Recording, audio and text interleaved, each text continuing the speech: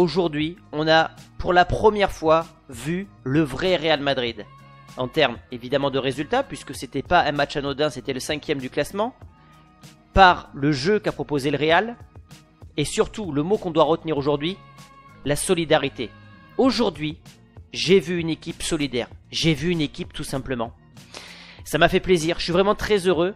Même si, on le sait, il y a un contexte compliqué par rapport au retard en Ligue des Champions, par rapport au retard en Liga, par rapport à ce qu'on va parler tout à l'heure, les graves blessures des joueurs. Trois blessures en l'espace de 30 minutes. Ça a été un cauchemar au début de, de, cette rencontre. Mais on va retenir le positif. Triplé du meilleur joueur du monde qui aurait dû être ballon d'or, Vinicius, qui est en mode revanche, en mode CR7. Et ce que j'ai aimé aujourd'hui, ce que j'ai aimé, ce que je vais retenir, ce sont ces images de solidarité. À chaque but, une équipe est née parce que trop de critiques, cette équipe a touché le fond. Et regardez-moi ça. Ça, je n'avais jamais vu ça depuis le début de la saison. Je n'avais jamais vu ça. Je voyais des mecs éparpillés, des groupes de 2, des groupes de 3. Jamais je n'avais vu une solidarité comme ça depuis le début de la saison. On a souvent l'habitude de gagner. On a souvent l'habitude de raconter les mêmes histoires. Et ce qui est intéressant dans cette saison-là, c'est que ce Real galère de fou.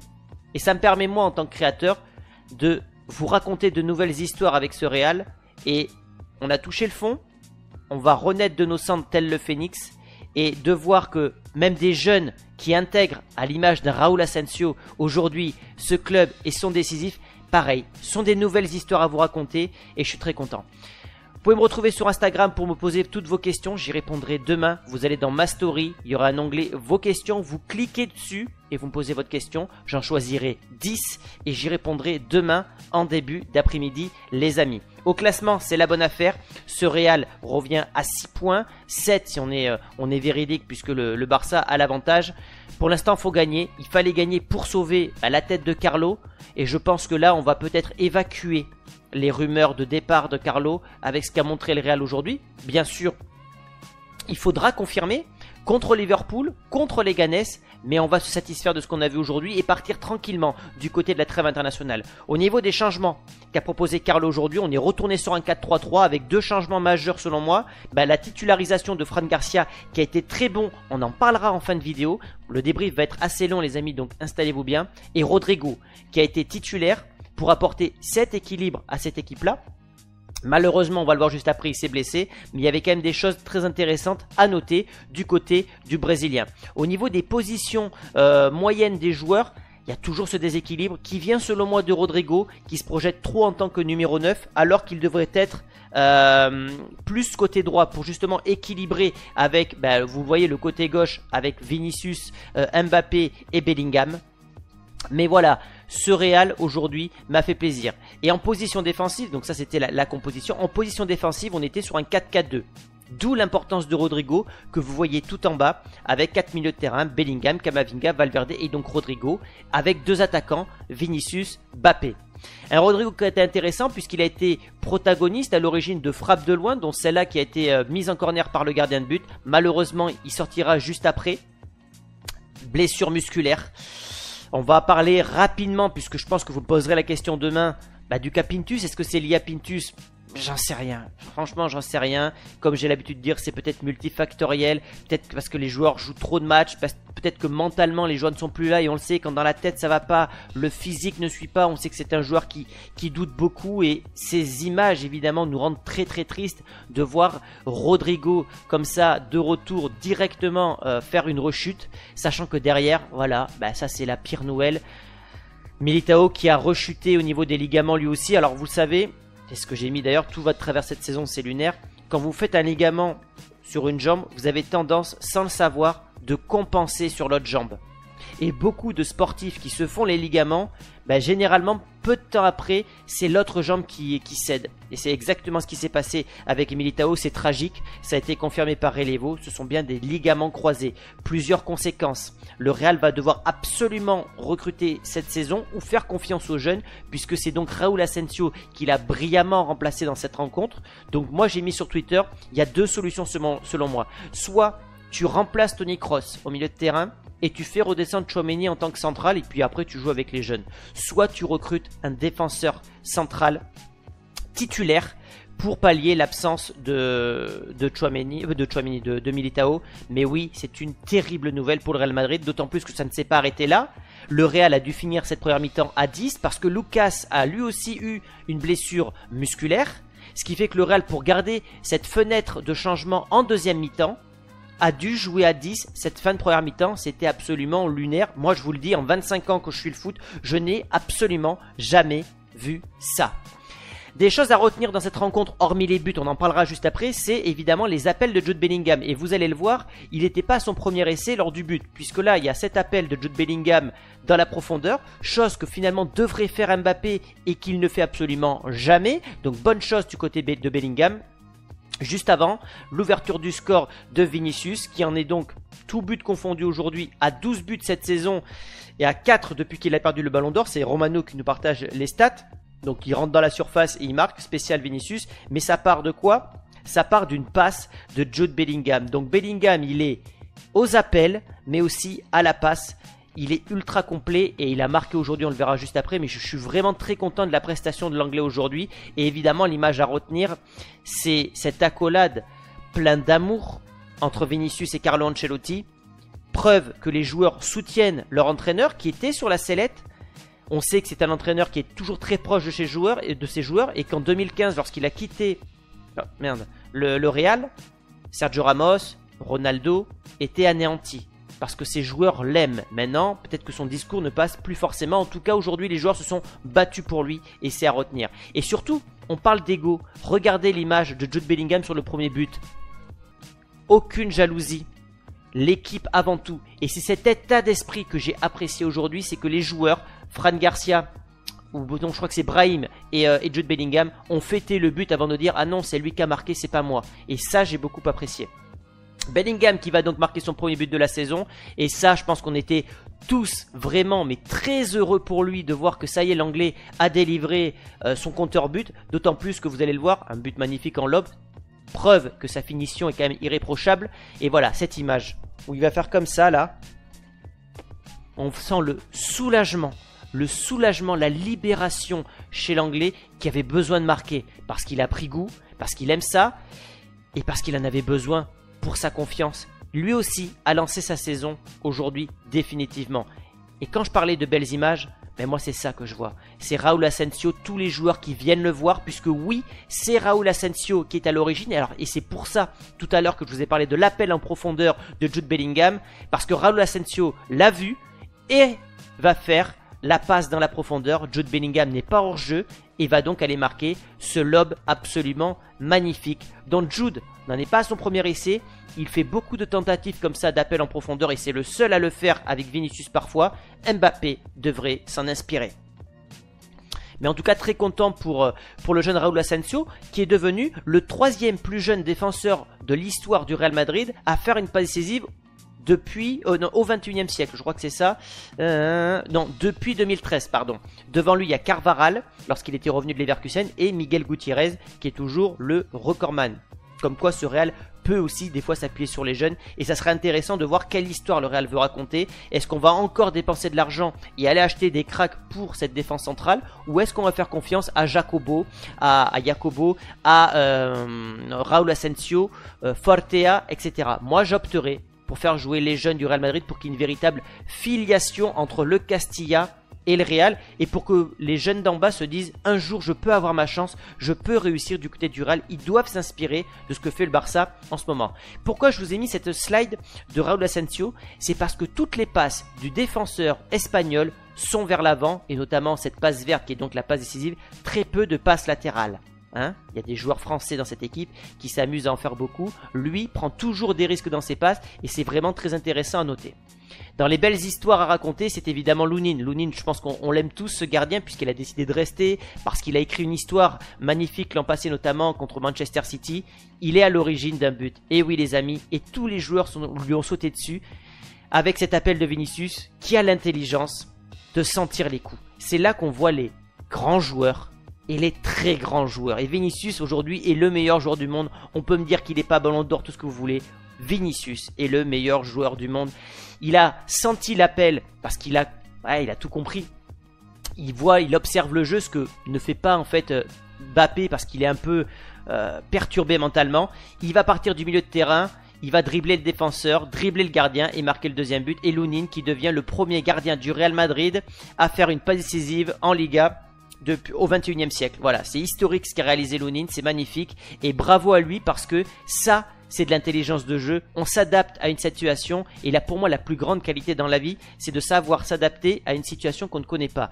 Là, il n'avait pas l'habitude d'avoir ce genre de situation. Il s'est couché, il a fait sa passe comme ça, précise, pour Vinicius. Bravo à Lunin et bravo à Vinicius parce que est-ce que c'est le gardien qui fait la passe ou est-ce que c'est l'appel de Vinicius qui crée la passe de Lunin Il y a toujours un débat là-dessus. Moi, je pense que c'est un peu des deux, mais bravo à ces deux joueurs parce que, ouais, voilà, moi, au-delà de la mentalité, il y, a eu, il y a eu quand même de très très belles idées aujourd'hui.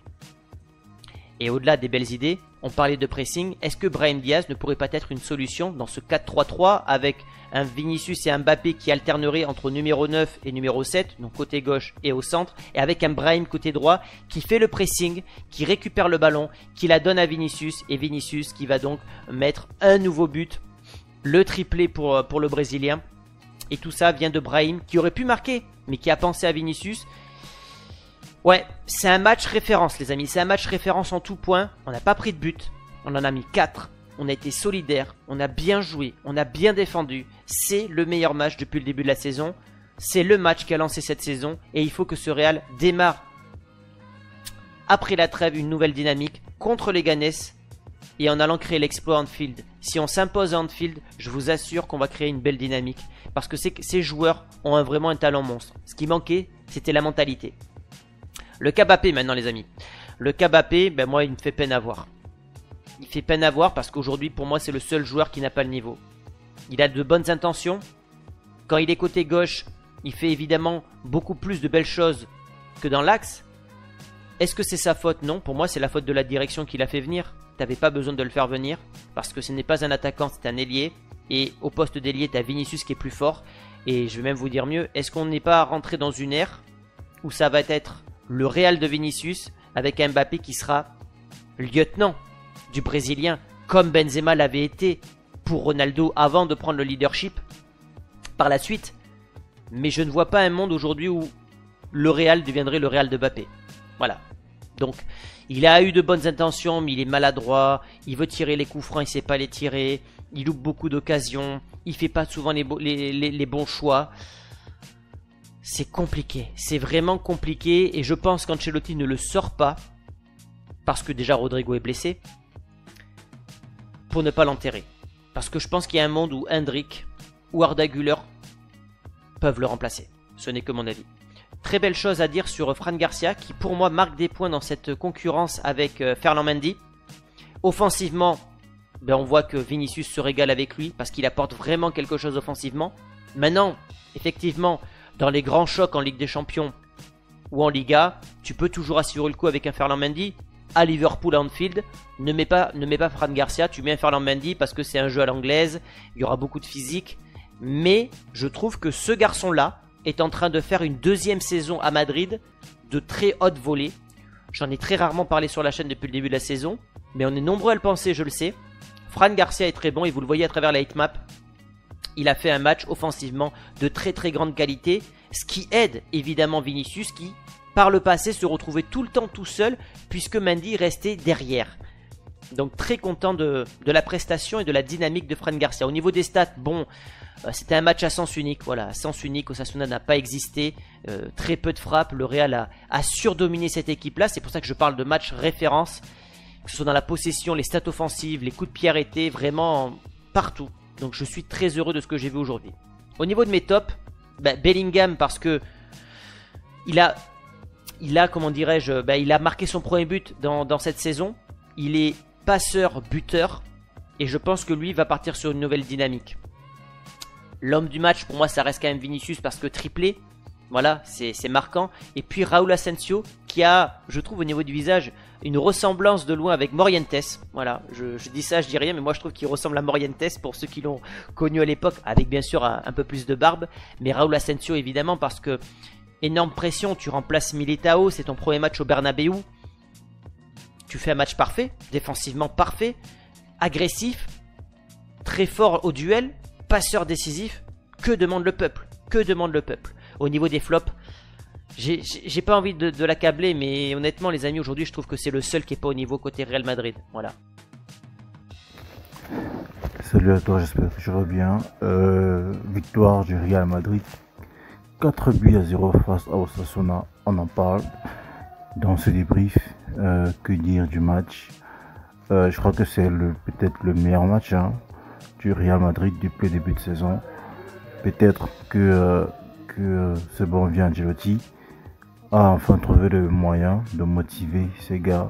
Parce que sincèrement, ce qu'on voyait depuis le début de saison, c'était juste affreux. En termes de résultats, en termes de jeux produits.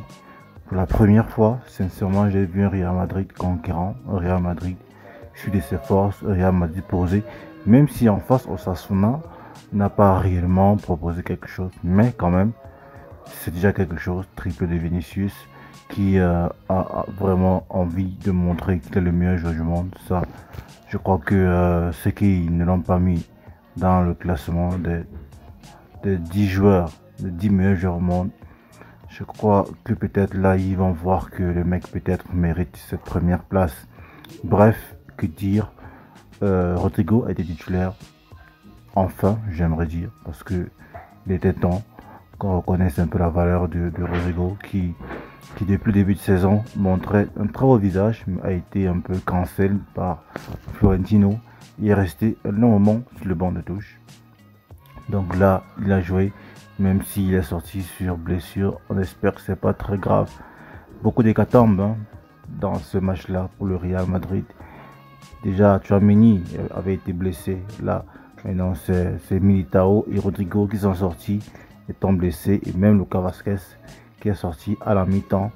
Donc on espère que c'est rien de grave, mais c'est quand même assez préoccupant pour ce Real Madrid là qui a du retard tant en Champions League qu'en Liga. Donc c'était pas vraiment le moment de, de, de, réussir, de grossir les, les rangs en infirmerie.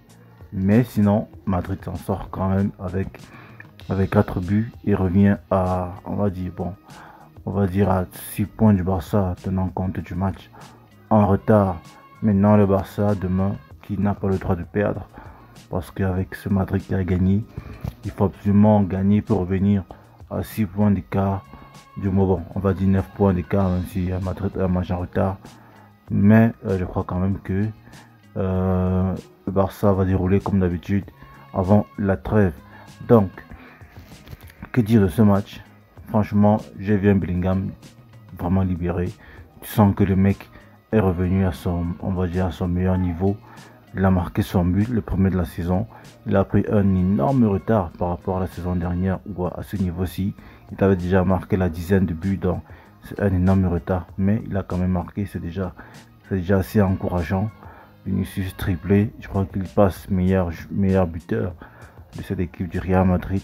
Comme quoi, euh, Vinicius réellement pas besoin de pas besoin qu'il se mette en retrait ou quoi que ce soit. Le mec, il est sûr de sa force, il est sûr de lui. Même si face au, Barça et face à la C Milan, il n'a pas vraiment montré un grand visage. Mais il y a quand même des matchs où il te rappelle qu'il est quand même le meilleur joueur du monde. Et à ce niveau-là, je crois que tout le monde peut être d'accord.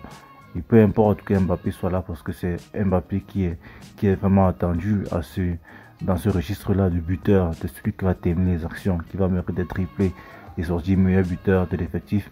Mais Vinicius répond toujours présent. Je crois qu'il a 8 buts, si je ne me trompe pas. Deuxième derrière Lewandowski, qui lui est à 14 buts. Donc euh, il n'a pas pour intention de rester là à se tourner les pouces, le, Vinicius. Donc ça va vraiment se jouer entre lui et Mbappé. Et moi je crois que comme il est lancé là, rien ne va l'arrêter. Même pas Carlo Ancelotti. Lui il a à cœur de faire une saison magnifique pour se venger de cette affaire de ballon d'or là. Je crois qu'il va y aller vraiment dans les statistiques. il ne va pas se gêner. Bon, tu Mbappé, un peu transparent, je vais dire comme d'habitude. Il a tant bien que mal. Pas de pas décisif, pas de but, bref. Rodrigo, euh, on espère vraiment que c'est pas, ça c'est pas grave, mais c'est quand même assez préoccupant. Mais en somme, euh, on va dire qu'il y a du mieux. Il y a du mieux pour ce Madrid là qui vraiment décevait depuis le début de saison. Mais il y a quand même du mieux. Bon, faut aussi dire qu'en face, Osasuna ne proposait rien, mais c'est quand même déjà ça de gagner que de jouer comme ça et montrer que euh, tu peux avoir un groupe assez soudé. Moi, je pense que les joueurs ont eu un source d'orgueil parce qu'ils ont vu Angelotti sur la chaise euh, éjectable et tout. Ça les a un peu de la pression. Ils ont voulu faire au moins une, une bonne prestation pour lui, mais sinon, on verra lorsque l'adversité euh, s'élèvera si ce Real Madrid pourra tenir le choc. Mais moi, je m'attendais pas vraiment à avoir un, Mbappé titulaire. C'était vraiment une surprise. Mais bon, on verra à la fin de la journée, à la fin de la saison, si ce Madrid-là aura vraiment la coronets pour aller chercher un trophée. De toute façon, bon match. Si la vidéo t'a plu, je t'invite à t'abonner, à liker et je te remercie d'avoir suivi. On se revoit dans une prochaine vidéo. Allez, ciao